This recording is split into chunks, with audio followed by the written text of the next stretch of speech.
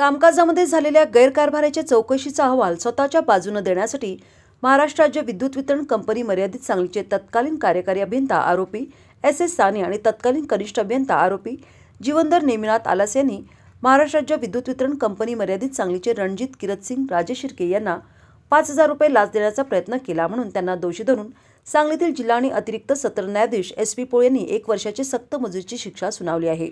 या कमी सरकारी पक्षातर्फे जिल्हा सरकारी वकील ॲडव्होकेट अरविंद देशमुख यांनी काम पाहिले.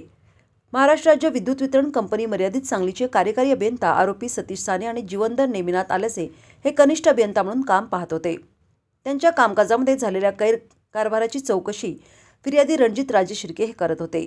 त्यांच्याविरुद्ध चालू असलेले प्राथमिक चौकशी करून चौकशीचा अहवाल आरोपींच्या बाजूनं द्यावा म्हणून फिर्यादी रणजित राजे शिर्के यांना पाच हजार रुपयांची लाच देण्यासाठी प्रयत्न केला असता फिर्यादींनी लाच देण्यासाठी आरोपी येणार असल्याची तक्रार सांगलीच्या अँटी करप्शन ब्युरोकडे केली होती.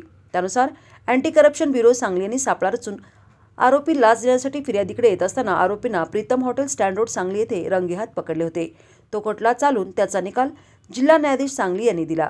यामध्ये सरकारी पक्षातर्फे फिर्यादी रणजित राजे शिर्के पंच शरद दबडे तपासी अधिकारी हेमंत जगदाळे यांचा जाब जबाब ग्राह्य मानून आरोपींनी शासकीय कर्मचाऱ्यास लाच देण्याचा प्रयत्न करून लाजली म्हणून आरोपींना एक वर्षाच्या साधी कैद देण्याची शिक्षा सुनावली आहे.